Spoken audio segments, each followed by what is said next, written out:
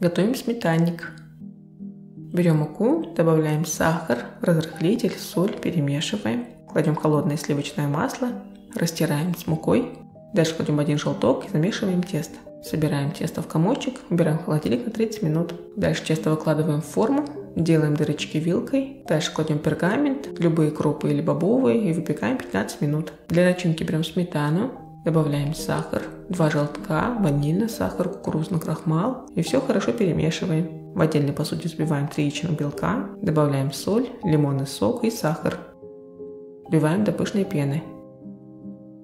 Белок соединяем со сметаной, Хорошо перемешиваем аккуратно. Дальше вливаем запеченную форму.